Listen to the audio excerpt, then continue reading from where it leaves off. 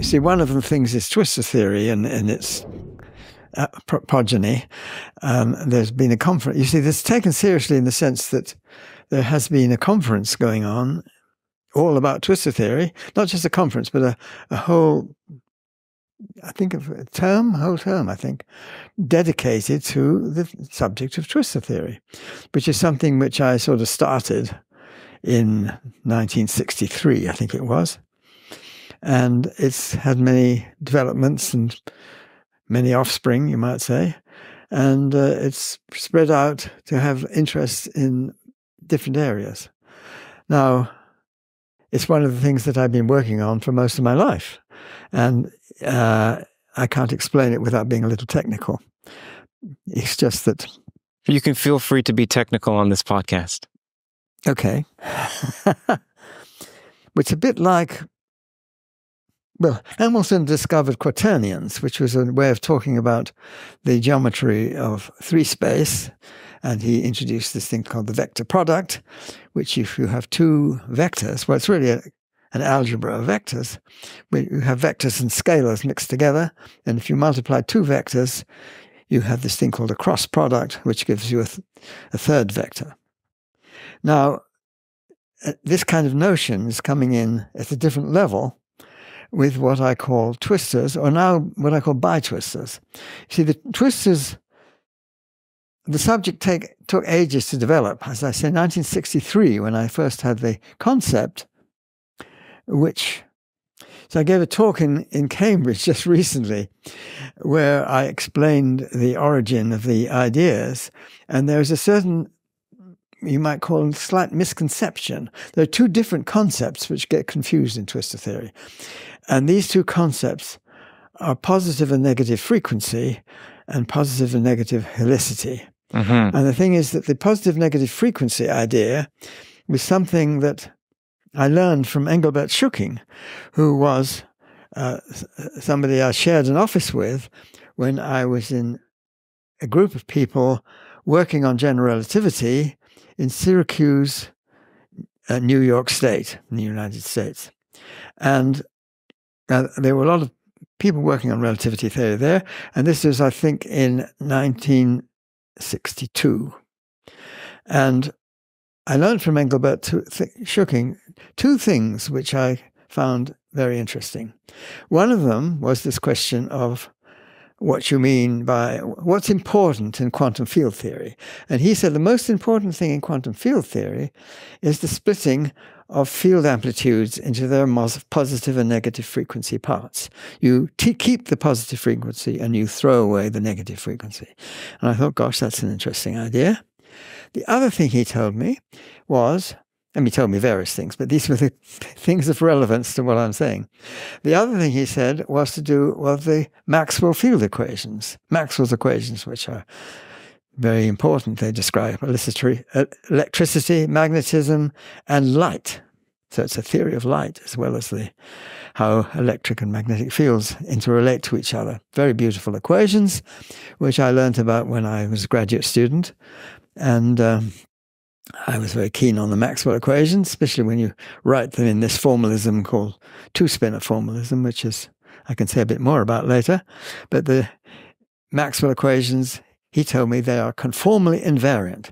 So they only depend on space-time structure independent of the scaling. So if you magnify the scale up or down, magnify the metric up or down, if you like, it makes no difference. That's conformally equivalent. So the conformal maps are ones, or the conformal transformations are ones which can change the scale, uh, but they don't change the well, they don't change the light cones in special relativity terms. So the speed of light is the same. Of course, light, after all, the speed of light is the same when you magnify and the change the scale. But the, what, what struck me about this, these two facts that I learned from here, is there seemed to be a little of a an impasse between the two. I mean, how do you decide what splitting the positive and negative frequency? You look at the individual frequencies, which means you do a Fourier decomposition, and you take each individual Fourier component and you split that into its positive and negative parts. That's not conformally invariant. You do a conformal map, full rescaling, the Fourier decomposition just not go into itself. And so I thought it would be lovely to have a way of looking at this, which is they come together and, and you don't have this sort of Im- impasse between the two. Well, um, I was aware, I don't know whether I was told or I thought about it myself, I was aware of the effect of the fact that if you take the field of complex numbers, fold them up into a sphere, so you've got a point at infinity as well, and you take the real numbers and think of that as the equator. So the real numbers go around the equator, and the complex numbers go up and down. And if you have a function which is defined on the equator, which extends into one hemisphere, that's positive frequency. It extends into the other hemisphere, it's negative frequency. This is a completely conformally invariant description. You conformally invariant the sphere, and it the, doesn't change the splitting into two halves. So I wanted a way of doing this, but globally for space time. So for the whole space time, I wanted it to be somehow that the real space time is the boundary between two extensions into the complex. But if you just complexify space time, make all your coordinates complex, you get an eight dimensional space, not a five dimensional space. So that's no good. It doesn't split it into two halves at all. You get a thing called the forward tube, which is a little tiny thing at one side or the other, in which you can talk about things being regular there or not, but it doesn't split anything in half in the same sort of way. So it didn't satisfy me.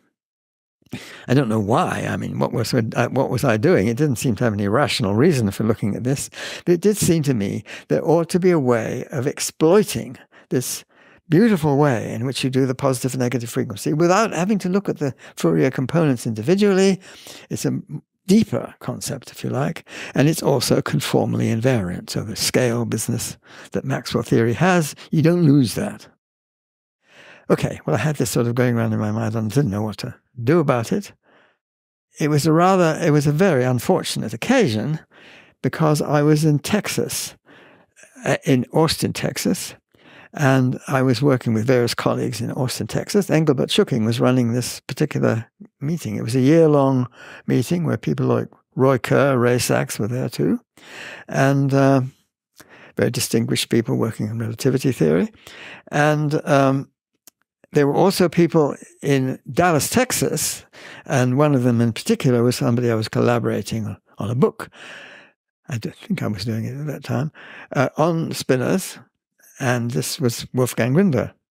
And Ivor Robinson, who was also, he was somebody who was a very clever fellow, had wonderful ideas. He never wrote anything down. He, he relied on getting a co-author to write the paper. It was all done with words. He was a wonderful, had a wonderful way with words. He, the Americans loved him because he spoke in this way that they weren't used to, which the words all fitted together in this beautiful way. Yes, he did have a wonderful way with words. There's no doubt about it. Was he the one that didn't write papers? Yes. But he he was important in another story, which is a different story, my story, namely the the uh, singularity theorem, because that was walking down the street and crossing the road. Uh, that's a different story. It was the same person. That was that was um, Ivor Robinson. Yes. So he obviously was somebody who could take my attention.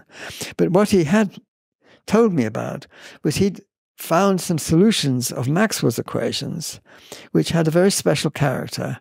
They're what are called null. They have point in one direction. You see, usually there you have these two directions, which are called principal null directions, on the light cone. They're light-light directions. And if they coincide, it's what's called null. And these are more like radiation fields. And he found a beautiful family of solutions which he constructed in the following strange way.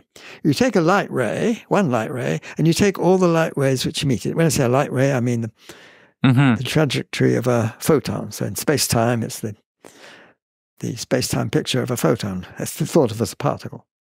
So now if you think of one light ray and you look at all the light rays which meet it coming in, then you have a family of light rays. But they're light and then he constructs this solution, which is based on those light rays. Now, they have this awkward singularity, which is the light ray that they meet. Why is that a singularity? Well, they all start coming together, and so they're not, the, the, the nature of the solution is different when they come together. You see, Okay, but it's light- of a different sort of singularity than the singularity it's not a serious singularity. It's a singularity in the Maxwell. I think things become infinite. I see. I don't remember the details of it. Sure. They they just become infinite of that solution. Just because the light rays don't make this nice family anymore, they've got crunched up on the on the on the other light ray. But what Ivor Robinson did, he had this clever trick where you just place the light ray into the complex, make it a complex light ray, then you can keep the light rays which meet it. There's a family which is still real. So you can see those real ones, even though the one they meet is in the complex and they twist around each other in this wonderful configuration. I thought about this before, and I think I knew in detail what this configuration was. It corresponds to what's called Clifford parallels. Clifford parallels are a beautiful geometrical configuration. If you take a three sphere, so that's an ordinary sphere, but in four dimensions. So, so it's a so it's a three-dimensional surface in four dimensions. Mhm. So it's a family of points which have the same distance from the origin in, in four Euclidean dimensions. I'm not talking about space-time now. That four Euclidean dimensions. So you have a three-sphere, and there's this beautiful family of circles which fill the whole three-sphere. No two of them intersect, and they all link each other.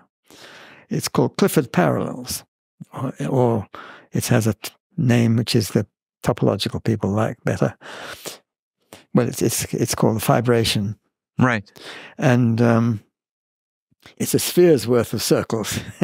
it's a it's a very nice example of a fiber bundle and, and how you you have this diagram that people like to draw, where you have the the fiber, which is the circle, and the bundle, the entire bundle is the sphere.